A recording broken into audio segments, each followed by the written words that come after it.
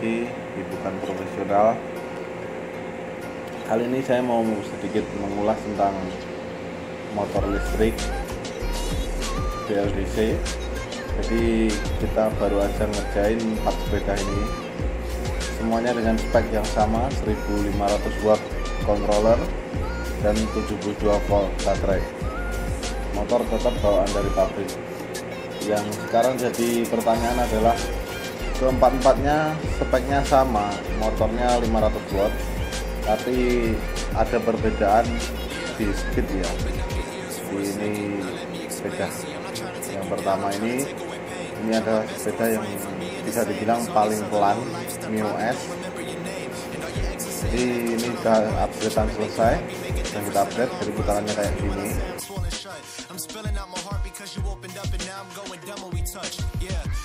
ini melaju tanpa beban atau di standar 2 73 km per jam. Ini sudah putaran maksimal.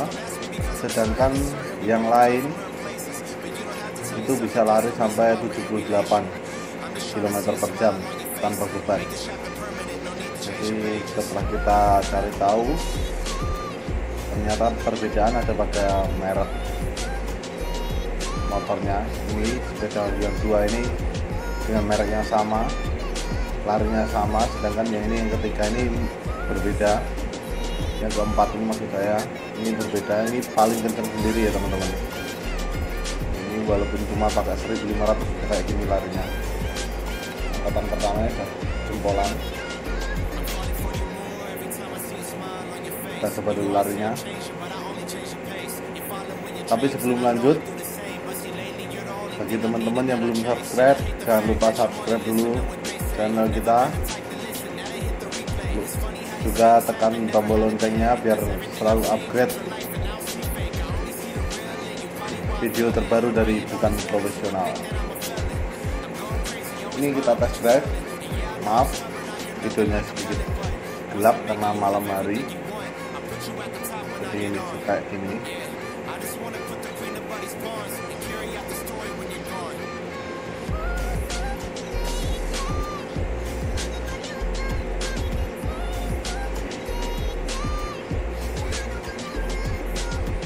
jauh berbeda dari standar jadi kalau dengan beban dia bisa lari 60 km lebih ya. 1500 watt controller.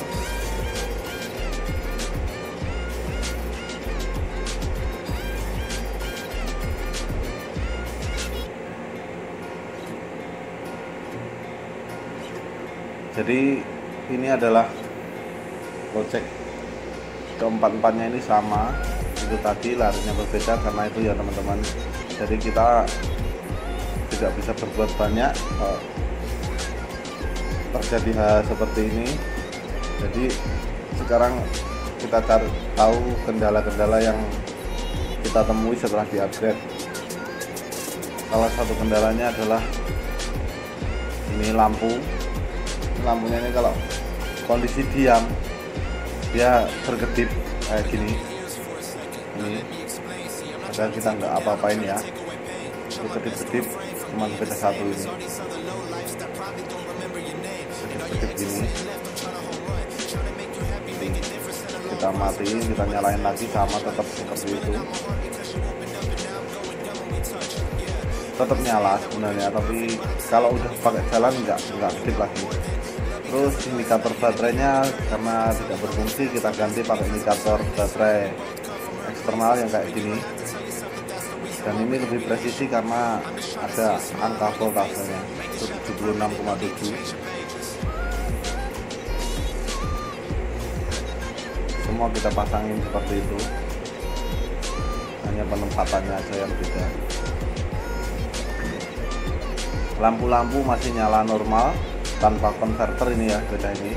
Dan ini teman-teman kita kita ngerjainnya di Duyo